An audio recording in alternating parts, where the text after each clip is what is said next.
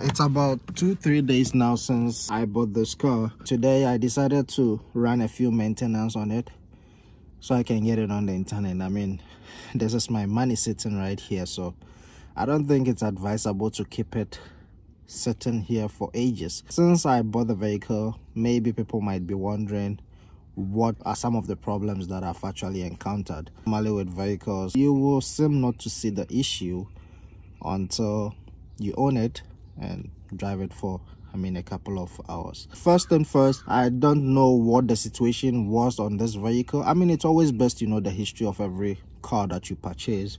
But this being an impound vehicle, I'm not sure why it was impounded. But there are a few evidence that makes it a bit obvious. So first of all, there was blood, which I think I showed you guys. And there was also an alcohol splash. So it's like they hit something and then the alcohol splashing the car and i don't know what happened why there was blood. I don't know if that is even blood or wine. I don't know but it's red and i've done a bit of cleaning.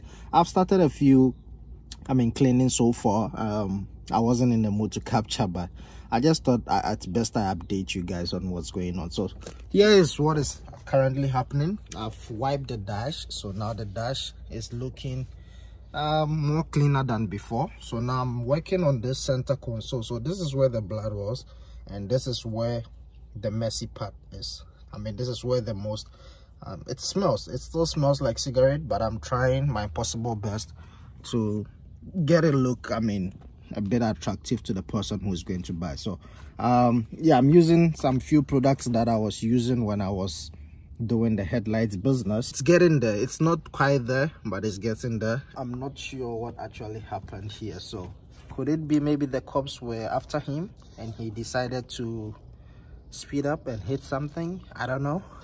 But yeah this side well it's just loose. Um yeah it's loose and the clips are broken so i'll have to fix this and clean it up and I don't think I'll be getting new tires for this. I've already spent a lot so far, so I'm just gonna do what I can, and then what I can't, I'll just let it go as it is. So.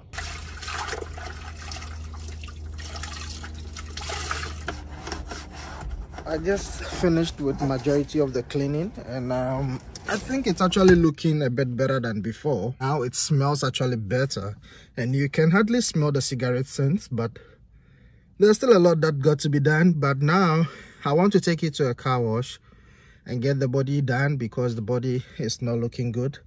So i'm just gonna wash the body. And the funny thing is in case you're watching me and you don't know by any chance so in canada when you take your car for a car wash they don't touch the inside unless you pay extra for detailing.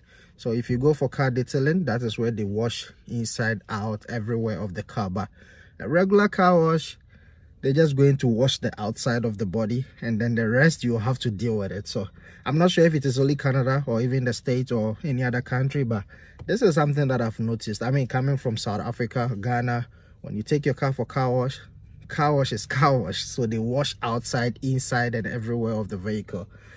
But in canada it's different. When i was cleaning the car i'm not sure if you guys can see. It, it looks actually better than before. So this looks neat. I mean someone will be tempted to buy this.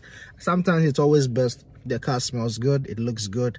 It attracts more buyers than just leaving it as it is. I'm not sure where the actual owner i mean the previous owner of the vehicle comes from but whilst i was cleaning i mean it's normal in most of the vehicles. So when you're cleaning most of the cars you might see coins money. This particular one i got some coin inside which some of them is canadian currency but the other one is Repub republica de cuba. So i'm guessing the previous owner is from cuba. This is a self-service. I'll have to do everything by myself. It's not the regular ones that you go in and then it washes it I just want to do it myself so I can like have the full power of it. Oh, and I changed my clothes because why not? they gave me this. I don't even know what it's about, but they call it the tokens and that is what I'll be using. So they use money to exchange for this and that is how I'll get this car washed.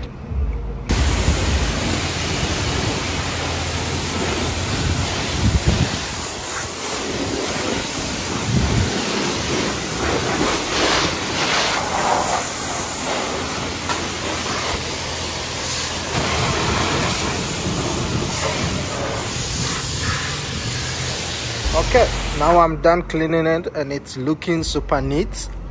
So tell me why i can't sell this vehicle for 6000 or 7 compared to the way it was at first i would say this is way better. So the only problem for the person who will buy it to fix will have to be this thing here.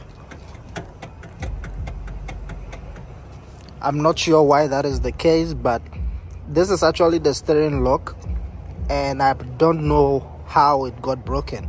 So that thing actually locks the steering when you remove the key. So if you turn this it's not supposed to turn but it's turning. So in this case i'm not sure what the problem is. But i believe changing the steering rack or something to do with the steering will solve this. Thanks for joining. I just hope you did enjoy this whole little tour. It's been very tough trying to film myself do i mean the minor stuff on the vehicle and make sure everything is looking good. It's tough to do both at the same time but i'm hoping that you guys did enjoy. I mean the car is looking very neat and i'm actually jealous. I feel like keeping it man but anyways i mean uh, it's it's business so i have to let it go. So guys let me know what your thoughts are let me know what you think and i guess i'll catch you in the next one. Do not forget to subscribe like it took a lot of effort man. So guys thanks for watching. I'll see you in the next one peace